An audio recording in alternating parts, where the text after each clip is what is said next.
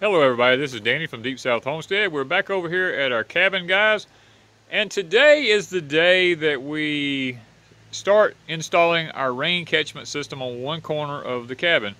Now we have a 300 gallon tote that was uh, gifted to us by a subscriber this past summer. And we plan on using that on the corner of our cabin. Now I'm going to take here and I'm going to show you what we have going on. I've actually built the frame uh, that this is going to sit on so I would like to, I'm going to show you the frame, I'm going to show you how I built it, what my thoughts are, and we're going to see how this thing actually goes together and see if we can make this happen. Here we have the frame system that I built. I have 4x4s that I actually installed in the ground. They're concreted in, uh, about two foot deep. I've put some X braces on the front and the back of it there to keep it from going from side to side. I kind of saddle notch these in on all four corners of it. And what we have here, this is our downspout coming off of the top of our cabin up here. We're going to be taking that loose because right now I have this thing setting in a five gallon bucket so that when it rains, we have a little bit of water here at the cabin to water plants with and stuff like that. But it's time, guys, that we move out and we start venturing into bigger things because now we have the off-grid garden over here and we got to have a lot of water for that because believe it or not where everybody else has been getting rain we haven't been getting that much. We just get a little sprinkle every now and then maybe a five or ten minute shower and that's it. And our garden needs a little more than that. So I'm going to show you. Here's the tote that we have. Let me see if I can move around here. The sun's going to probably play a factor in this but just remember, it's laying on its side now. I could not find anything that would screw onto this tank here. I've looked everywhere. I just cannot find anything. This came with it. So what I done was I went and bought a, I bought a two by two rubber uh, sewage adapter here. And I clamped this thing on to a, uh, a reducer here. I slid it up in it and I actually clamped it on it with a piece of PVC pipe in there. And then I put another reducer on the inside of it down to a three quarter inch uh, I'm sorry down to, well that is a three quarter I believe uh, yeah down to a three quarter inch uh, pipe there. We're going to be actually taking a piece of PVC three quarter inch pipe and putting in this here and putting a uh, water faucet adapter onto the end of it here so that when we get this thing filled up, I can just come up here and the amount of pressure I need will be regulated by how much I turn this ball valve here. I'll turn it just, you know, the least amount I turn it, the least amount of pressure is so that I don't have to worry about too much pressure in any one given time. This thing is mounted about 50 something inches up off the ground so that's going to give me a little bit more pressure as we work you know, towards getting water out to the garden. It is higher than any part of my garden anywhere around here, so it will always flow. We're going to probably put a manifold system on this and run some water hoses over to our gardens. And we're probably going to start watering our gardens from this 300 gallon tote we have here now. This thing has a metal frame system that goes with it. And it has a place for me to run my forks up under it with my pallet, uh, pallet forks so that I can actually pick this thing up and I can move it around. So with that being said, this steel frame system, I have it designed where it will sit right on top of these runners right here. And that should be enough to hold it with these all concreted in the ground and these X braces put on here to kind of keep it steady. And what we're going to do is I'm going to come off of the roof here with what's called a first flush system up at the top up here. I'm going to come down off of that into a first flush system. It'll come all the way down and then it'll come back up and seal off and water will come out of it and come over into the top of this tank. Now this tank has a lid on the top of it with a two inch fitting and uh, threaded fitting in top of it there. So I can screw a two inch PVC male adapter into the top of that so that my water can go into it. So guys, that's the plan. We're hoping and praying we can make this work so that we have water to water our gardens. Cause see, look here, you see that garden over there? We got we got this garden right here, below that terrace row right there is a whole nother garden, like 150 feet long right there. And then when I come around right here, I'm looking right here, and I have a whole nother garden right here going all the way up. This is all of our alliums. Uh, Wanda has tomato plants, pepper plants, asparagus, our multiplying onions. We have our Egyptian walking onions up there. I mean, we have down here, we have uh, ras uh, blackberries. On further down, we have a fruit orchard. You come over here, we have fruit trees here, here. In the distance on this hillside is a peach orchard. And when you come back up in here behind the cabin, there's a whole row of fruit trees all up through here. There's apricots, there's apples, uh, there's a fig right here. Uh, we have a banana tree right here. Turn around, there's a big old huckleberry tree right here. And look here on this huckleberry tree. Yep, right there, look at that. about half green. Look at that. What do you call that? A yin and a yang? it's half green and half black. That's amazing. But look, they're all over it here. They're turning. Here's another one right here. Look at that. Guys, these things need water bad here at Deep South Homestead because it just hasn't rained. I wonder how it tastes. Mmm, boy, it tastes good too. Man. You walk around this tree here, you can look and see. See all them huckleberries coming on it? Look down in here. They're starting to get ready. And just look at how many of berries they are on this tree. Now you can't really tell that just looking at it because you see all the green leaves. But when I stop long enough that you can actually start looking at the berries, look at them. They're everywhere. And while they're at this stage, I need to get some water from this rain catchment system over here and see if I can't make this happen. So guys, time to get back to work.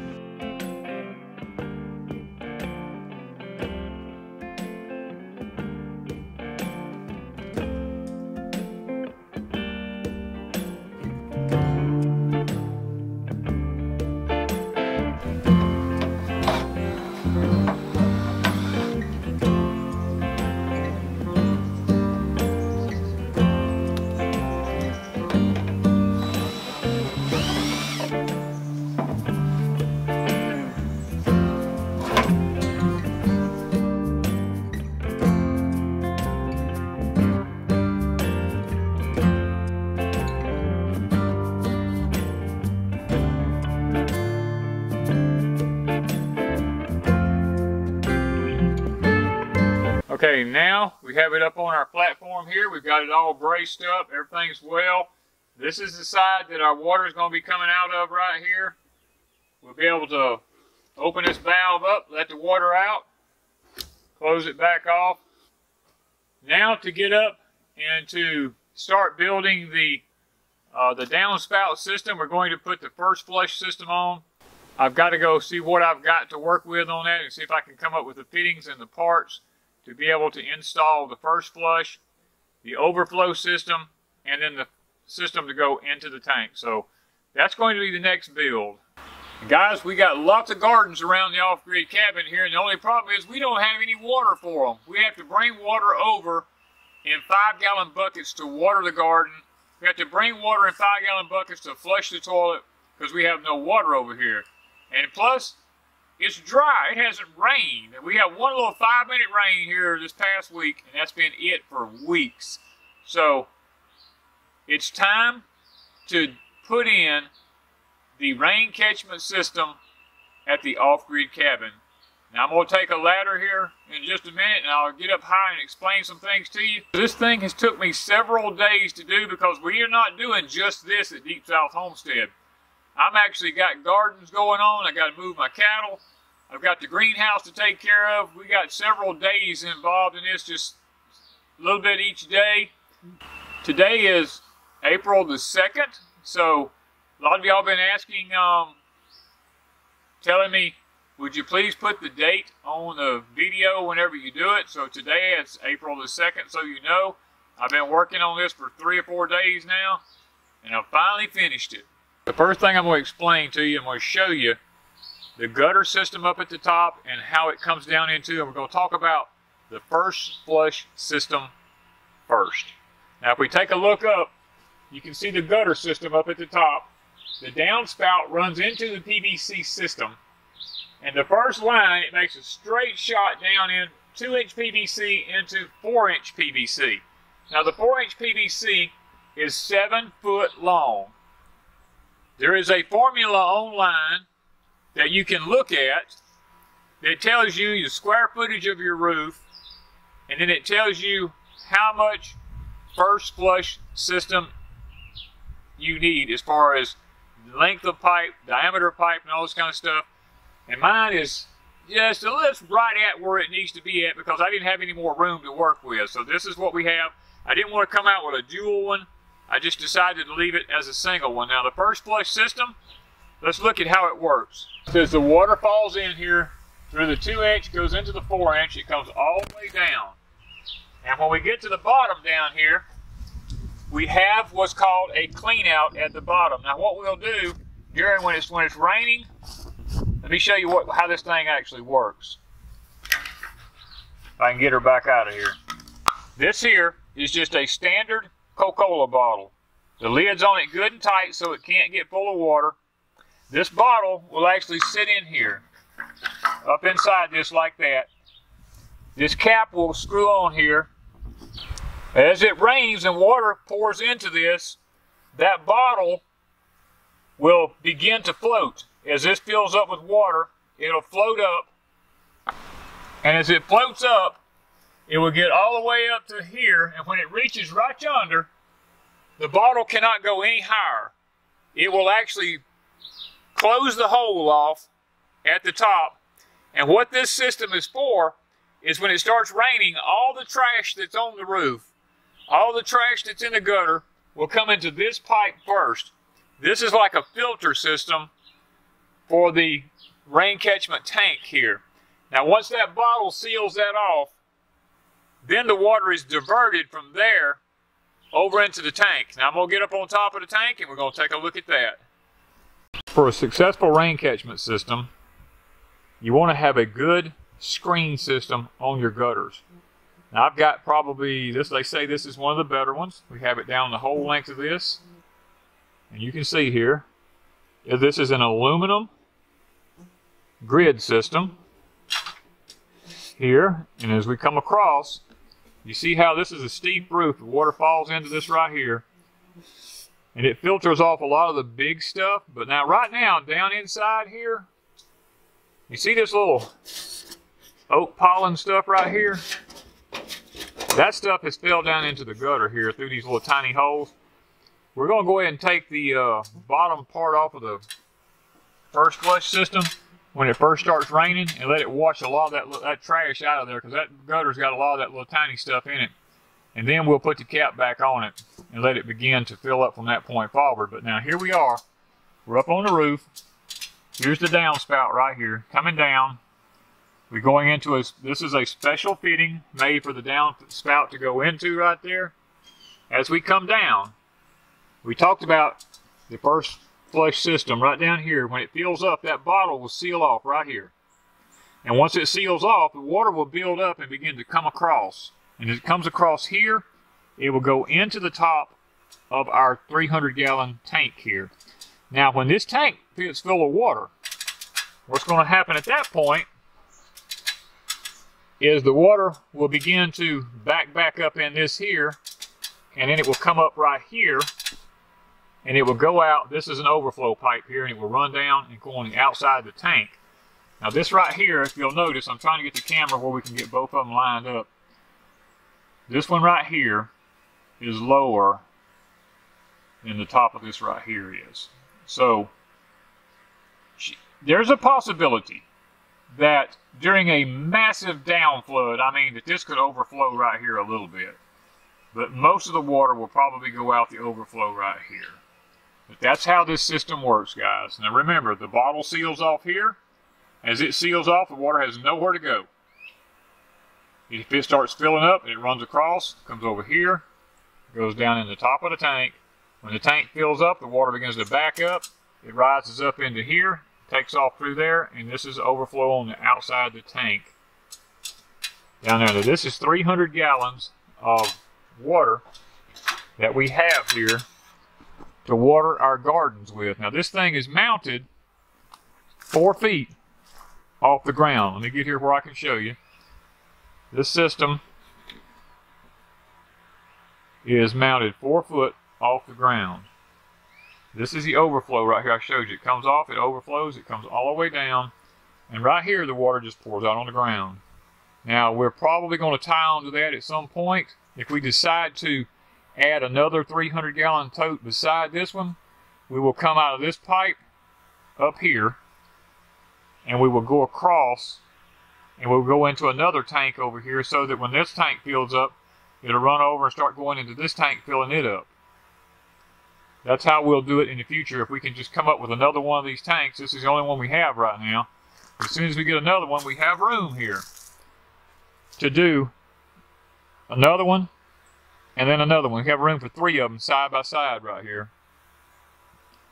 And we will tie them all together and then we'll tie this drain into this drain into this drain and they'll all work simultaneously. Now this drain here has a lever on it here that I can actually turn and open up and let the water come out of it. Guys, this is the first part of the rain catchment system on our off-grid cabin. We're also set up, as soon as we can find it, for this side of the cabin here, we have a downspout system here that comes down. Now right now it's just running on the ground. When we can find a large enough barrel that is not an ugly looking barrel, but one that is designed to look like a barrel or a very nice looking barrel, we're going to install one on this corner. There's also one on the other corner for the roof coming from the other direction over yonder. We'll install two barrels here to have even more water at the off-grid cabin over here. Our first rain catchment system. Now, all we got to do is find two or three more of these 300 gallon totes and we will have enough water to do whatever we need here at the off-grid cabin. Guys, this water is not for drinking, just so y'all might know. The question is going to be asked, is it potable water? The answer is no. This water here is to flush toilets and to water gardens with. Okay guys, now that we've got the system built, all we're doing here at Deep South Homestead is waiting on rain. When the rain comes, we're excited to see how it's going to work, to see if the design is, is working like it's supposed to work, and if it fills this barrel uh, tote up and the overflow system works like it's supposed to, we're excited. And then we're going to be looking for two more of these totes, just like this one. And yes, y'all are going to ask the question, this thing is white. Yeah, it is white. Guys, we are in a shelter in place in the state of Mississippi. We can't go anywhere to get anything. And I wasn't going to wait to install this because I don't know how long this shelter in place is going to how long they're going to have it up for. We can always spray paint this sitting right where it's at. We can paint it black. That's not an issue. But right now, it's dry and we need water at Deep South Homestead. So we're going to be emptying this thing out as fast as it fills up, I'm pretty sure. So that's the why. The main, well, that's the main reason why, let me say that, that this is still white and not black. So thank you guys from Deep South Homestead.